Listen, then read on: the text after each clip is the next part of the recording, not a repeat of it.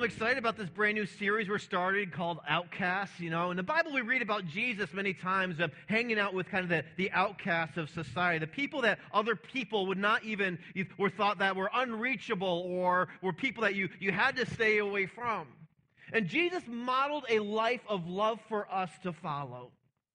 And so we're going to be talking about over these next few weeks about, about people that Jesus befriended and people's stories and lives that Jesus affected as he reached out to them. But today we're going to set up the rest of the few weeks in, uh, in this message and we're going to talk about God's heart for the lost. You see, God's heartbeat, the heartbeat of God is for those to come into relationship with him. He didn't come here to, to start a religion. He didn't start, come, come, Jesus didn't come to earth to start a, a, a, um, a, a an organization, but he came here that the people can receive and, and enter into a relationship with him.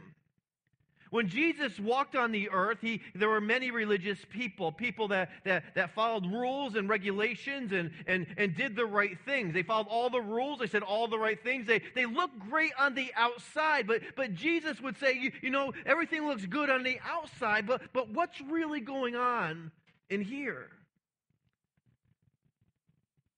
They, they, you know, they, they, they, they kept themselves looking good, and they, but they looked down on other people, and they began, didn't live up to their expectations. But the thing about Jesus is he reached out to those people. He reached out to those who were hurting, who were down, those who society might have even rejected.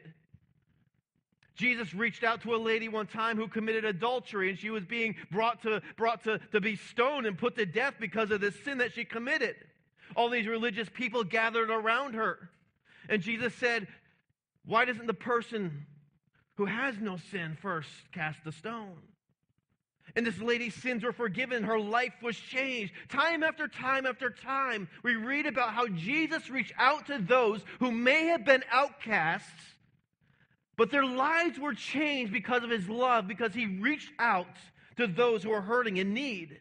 You see, the people of the day, the religious leaders of the day, the, the Pharisees, they, they, they missed the heart of God. They thought religion, they thought, they thought that, the, the, that God was all about keeping these rules and these commands. And, and it's important for us to follow God's commands and, and, and honor Him. But they, they missed the heart of God. They missed heaven by 18 inches. They knew up here, but they didn't know down here. They knew about God, but they didn't know God personally.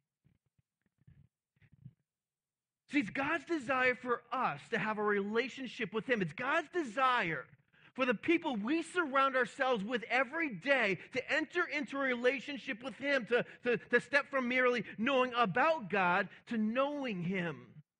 To where He becomes the God of their life, the Lord of their life, and, and they trust Him and they live for Him and their sins are forgiven. These, these, these Pharisees, they, they embraced a, a, a religious system, but, but totally missed out on a genuine relationship with God. Jesus came to earth, was God in the flesh. And many didn't even recognize who he really was. In fact, many people at the time, because of the people that he hung out with and the, and, and the amazing teachings that he taught, considered him a heretic because they went, oh, they, it went against the grain of what they thought it should look like. It didn't look or sound like they thought it would, would sound, but Jesus was projecting and Jesus was teaching the heart of God. He was often criticized for eating with sinners who's often criticized for eating with, with people who that, that, that, that, that society may have just, just cast out and said, no, they stay over there, they stay over, and we stay over here. Jesus reached out to people who, who, who, who are tax collectors, people that the, that, that, that the people at the time hated and despised. He reached out to lepers, people who were sent to their own colony and their own, their own place to live. He reached out to them and, and showed the love of God to them. You see, there's people that we surround ourselves with every single day, that we are around every single day, that we have the opportunity to show them God's love. Some people we come across, maybe they feel like, maybe they feel they aren't, but maybe they feel like they're outcasts. Maybe they feel like they are, they, they, there's a separation from God. And, and, but it's our job as believers to help them experience this new life in Christ. See, when Jesus came, he, he came so that we could all experience what John 10 10 says, that we may have life and that we may have it more abundantly. See, the, the mission of Jesus' ministry here on earth was for, to, to make a way for those far from God to come near to him. And today I'm gonna we're gonna be talking about God, what Jesus' mission to save and to seek the lost. And the title of this message of the series is called A Relentless Pursuit.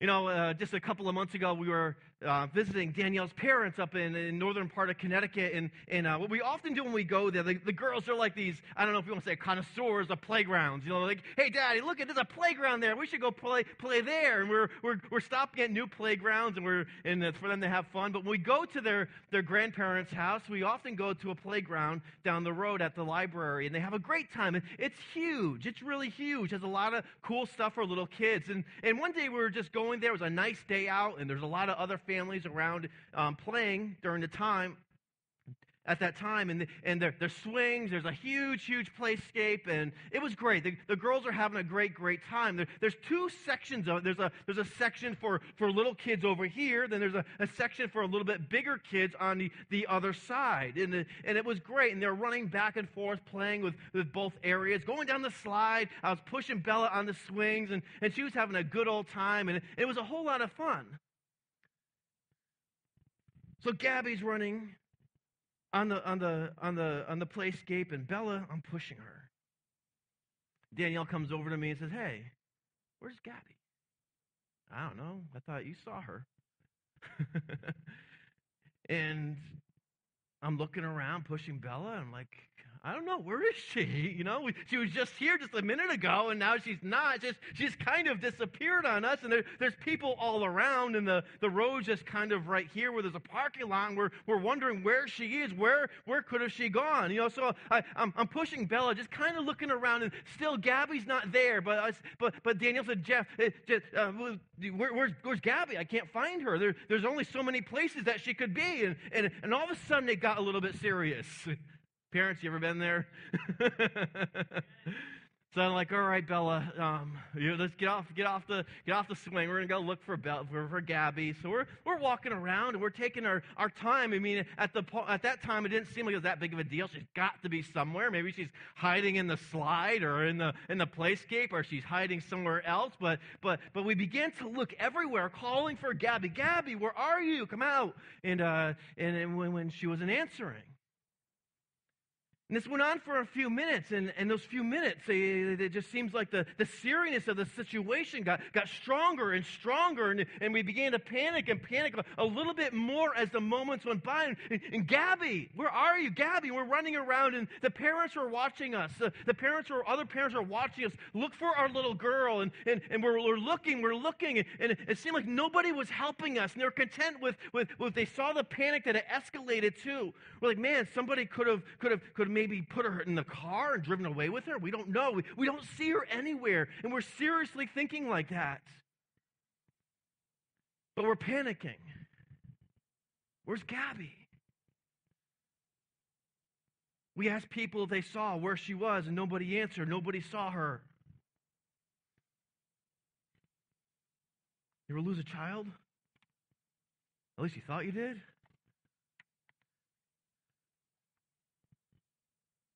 So all of a sudden, things got serious, and uh, we got Bella. She's here. Okay, you just sit here and you stay put, and we're going to look for Gabby.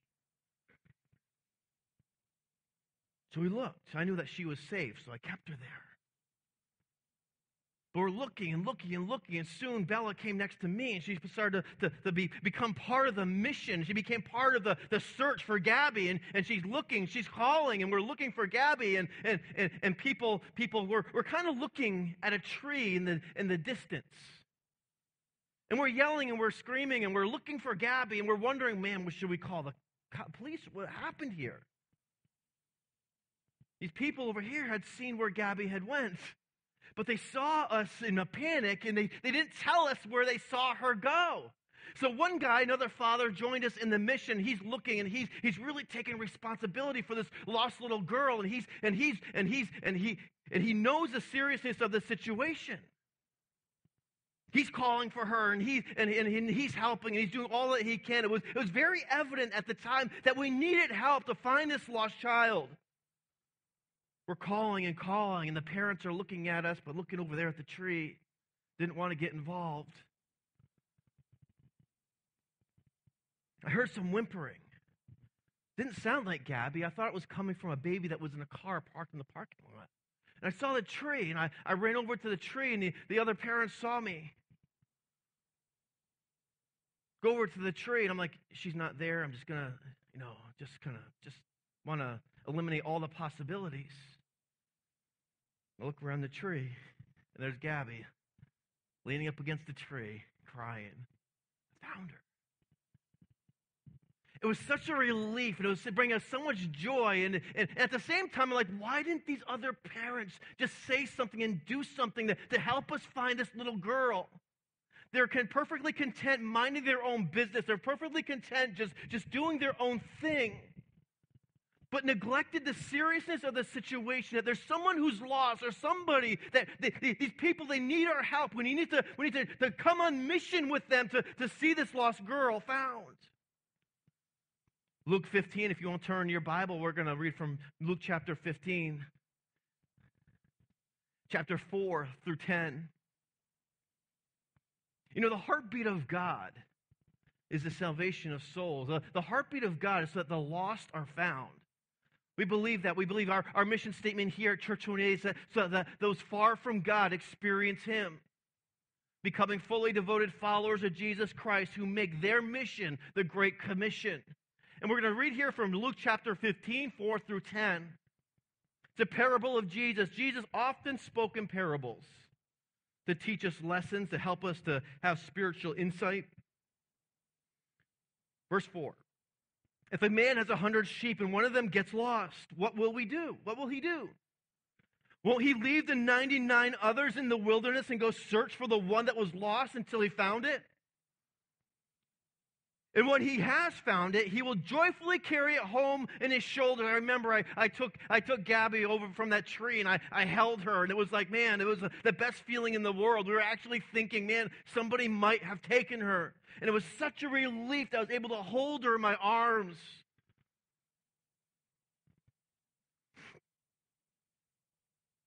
When he arrives, he will call together his friends and neighbors and say, Rejoice with me, for I, I found my lost sheep in the same way. There's more joy in heaven over one lost sinner who repents and returns to God than over 99 others who are righteous and haven't strayed away. Bella was there and she was safe, and thank God for that. Or suppose a woman has 10 silver coins and loses one. Won't she light a lamp and sweep the entire house and search carefully until she finds it? And when she finds it, she will call in her friends and her neighbors and say, Rejoice with me because I have found my lost coin. In the same way, there will be joy in the presence of God's angels when even one sinner repents. Jesus often spoke in, in parables and short stories that, that taught a lesson and often made a point.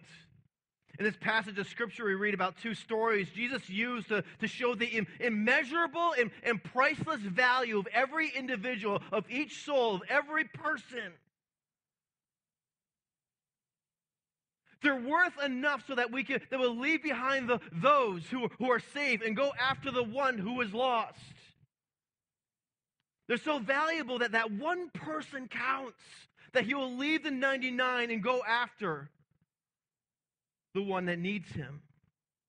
It shows Jesus' willingness to pursue relentlessly those who he loves, those who are lost and far from him. God's desire is for us to have a relationship with him, to be close to him, for him to love to love him and for us to love him, for him to for us to love him and for him to love us. And God's love is never lacking on his part. You know that? Never lacking. There might be some lack on our part.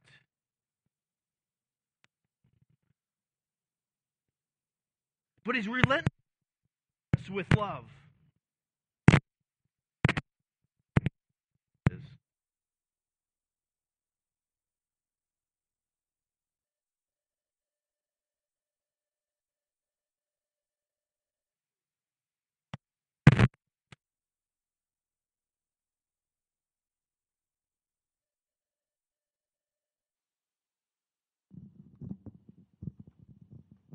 All right, we're good. We're all good. we're all good. Let me just take this off.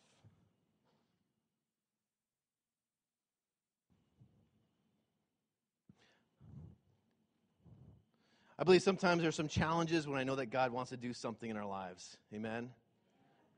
I believe that God wants to speak to our hearts, change our lives, and, uh, and we're just going to believe God that they continue to push forward and what He wants us to do today. But you know, there's, there's never any lacking on God's part as far as love goes, but it's, it's often a, a, a lack on our part.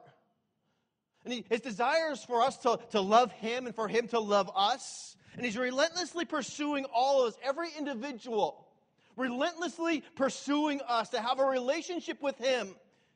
And those who are maybe even be the outcasts, or those who are who feel like they've been pushed aside, He relentlessly pursues them. When you are lost and without hope, when you feel, when you are far from Him, you can you, eh, during that time as you look back, you can see how God was pursuing you to have a relationship with Him. And he wants us to accept his love and to live for him. The, the, the, and, and to, and, or, or, or, and we have this choice, though, to push it aside. And here's something I want you to remember today is this that closeness identifies what is found and distance what is lost.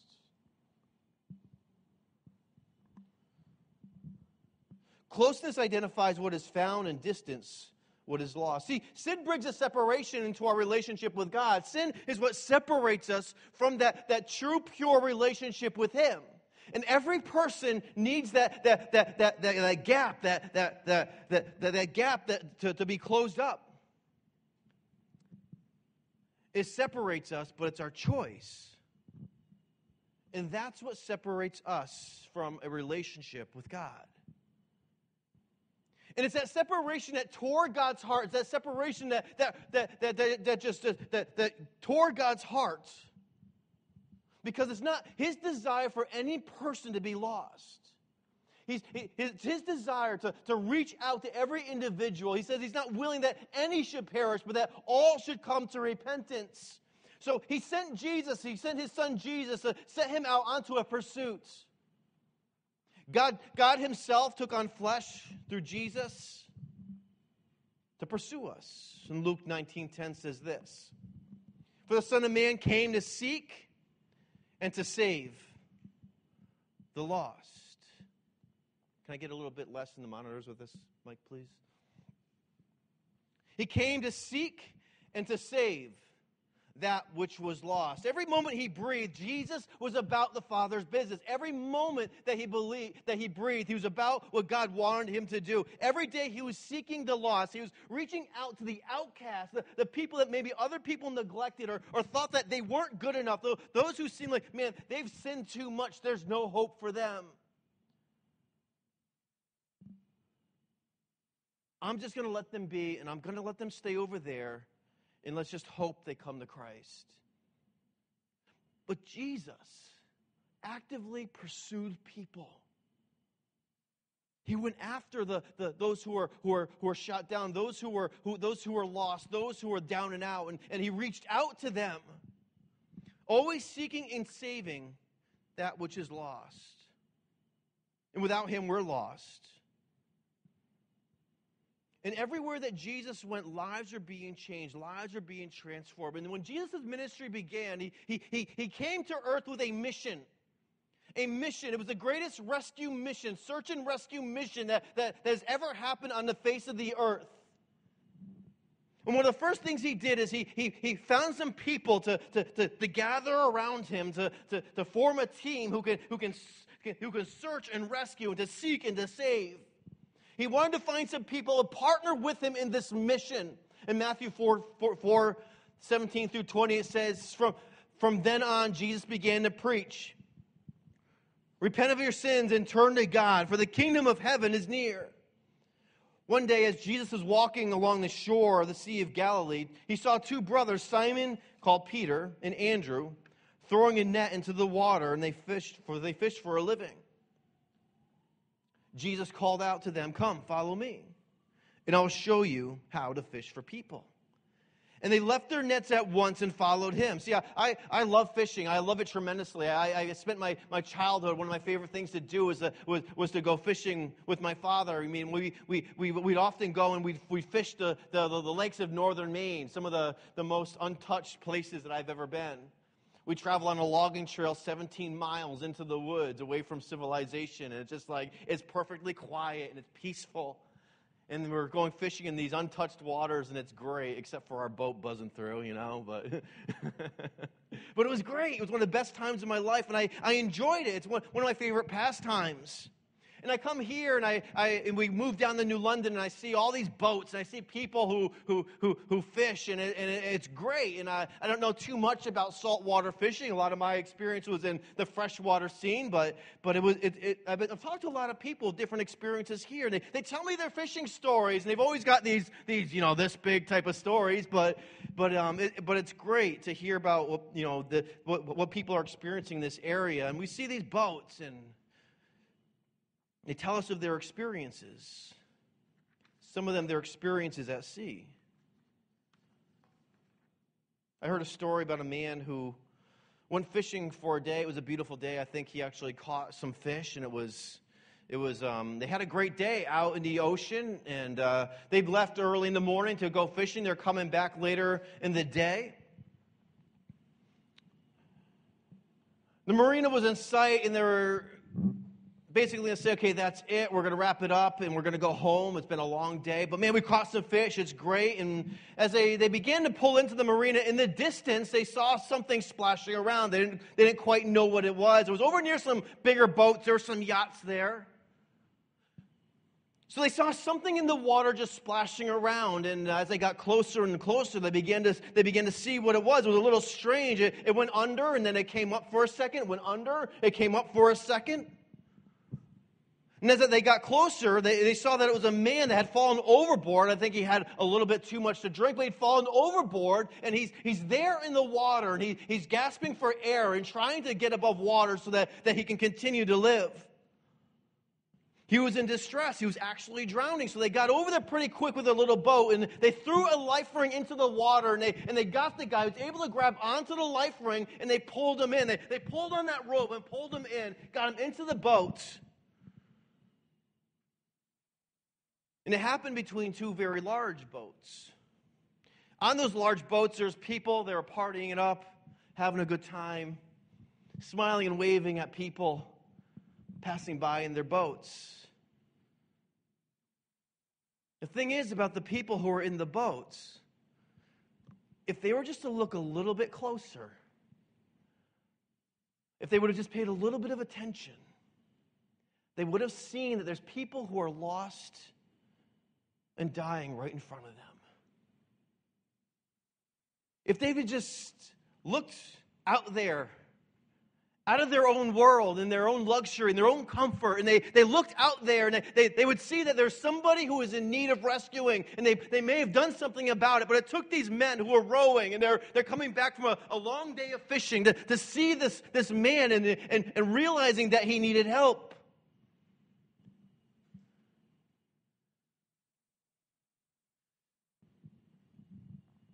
And it makes me think as we set up this message series for the next three more weeks.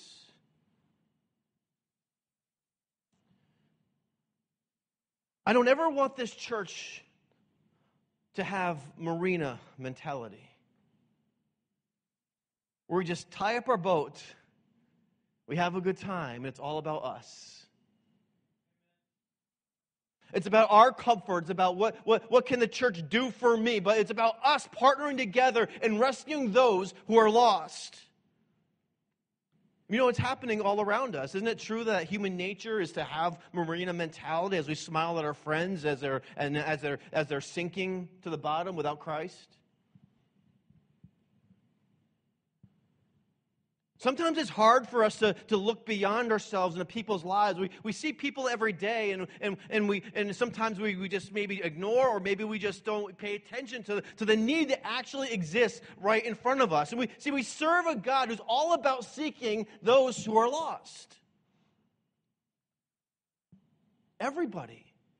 People from all walks of life, they're in need of rescuing. Everyone, Everything we do needs to be about seeking and saving those who are lost. Rescued people rescue people. Found people find people.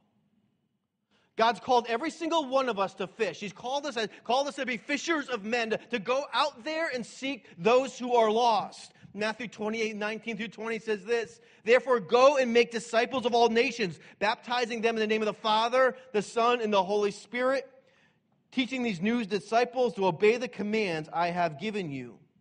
And be sure of this I'm with you always, even to the end of the age. So, what's Jesus saying here? He's saying, Go. Go in all that you're doing. Go. Nowhere in the Bible does Jesus say sit. Nowhere in the Bible does he say just, just wait for it to happen by itself. The, the, the, Jesus says, Go. I've given you a command. Now it, it's time for you to obey that command and go. He's basically saying to his followers, Fish. Think about a fisherman. He's very optimistic, he's a visionary.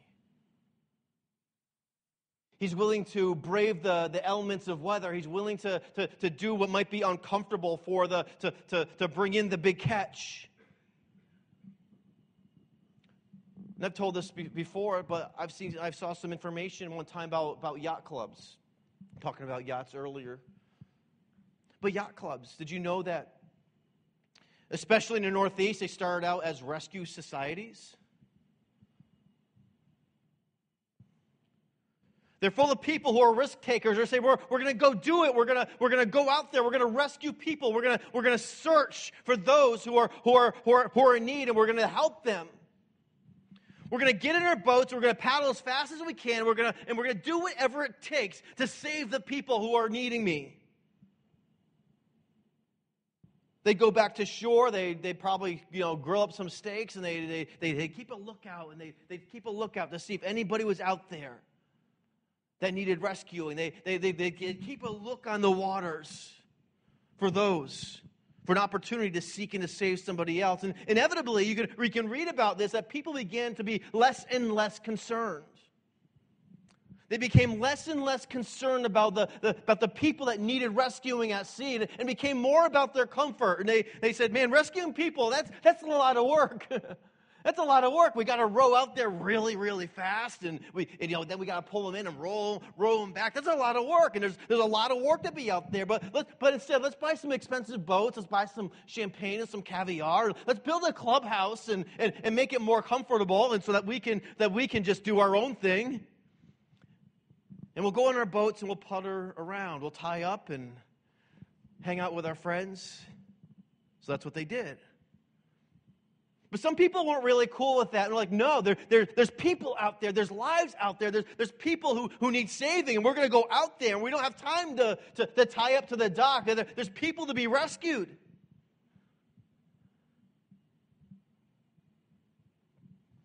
So they went down to the beach. They continued rescuing people.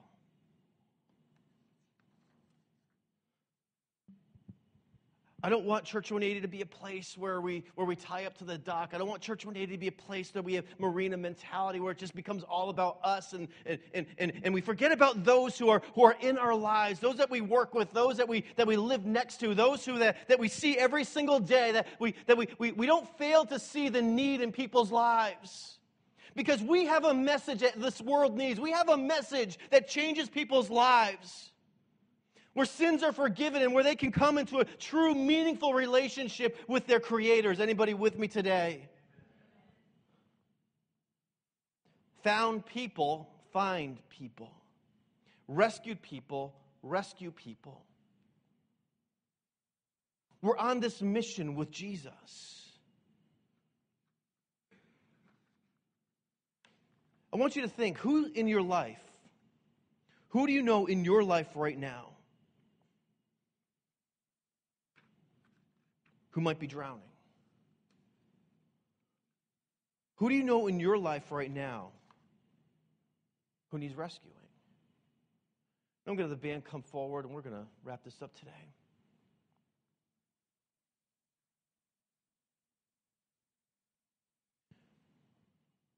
Who are those that you believe that we that, that we believe that God is calling us to reach out to? Who are those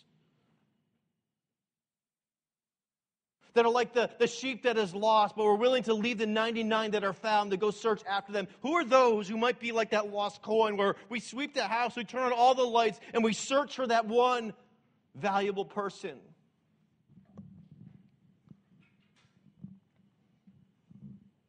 Who is it?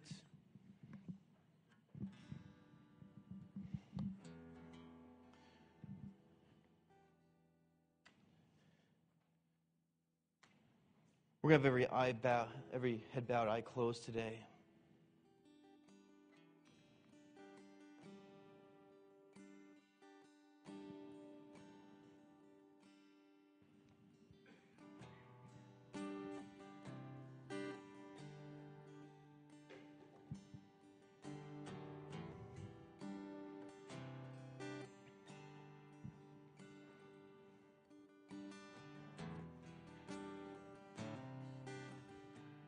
Father, I ask today that you give us hearts and give us eyes that see people the way that you see them. Lord, stir within us a, a passion for souls. Stir within us, Lord, to, to reach out to those who are, are, are hurting and those who are lost, those who might even seem like the, the outcasts, Lord. May we embrace them with your love.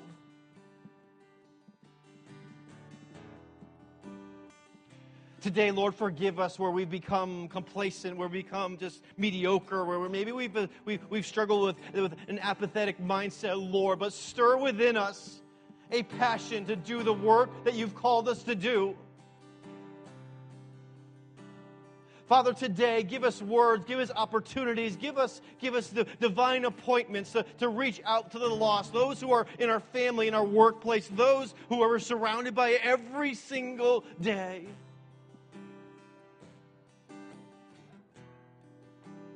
We worship you.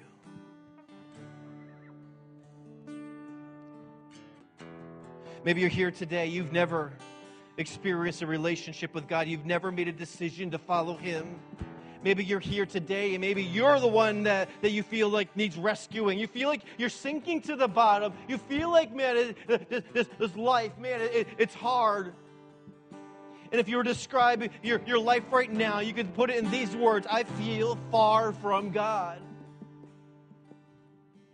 But Jesus came so that you can have closeness with Him. He came, He died on the cross. He lived a sinless and perfect life. He died on the cross to pay for your sins so that you can have closeness with Him. So that what was once lost can be found, what was once far can be near. And maybe you're here today and you want to make a decision to follow Him. I ask you to pray like this Father, forgive me of my sins.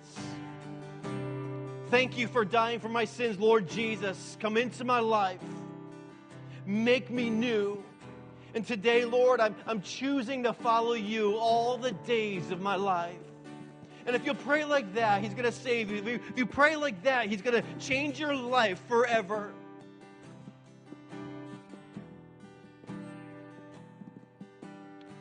Maybe you're here today and you're a believer, you're already following Christ, and you're saying, you know, Pastor Jeff, today I want to get serious about the mission. Today, God's speaking to my heart about getting serious about, about reaching the lost, about reaching those who are in my family, those at my workplace, those in my neighborhood. Today, Pastor Jeff, I am I, I'm serious about it. I want to make some changes and I want to I want to I want to go out and I want to seek and save the lost. Is God speaking to you about that? If that's you, I want you to raise your hand.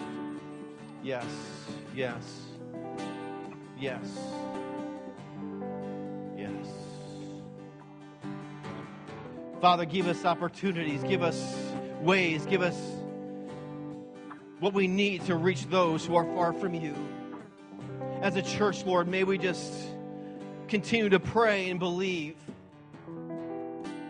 to reach more people.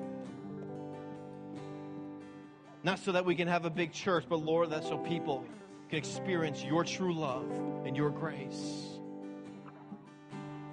We worship you today. We thank you.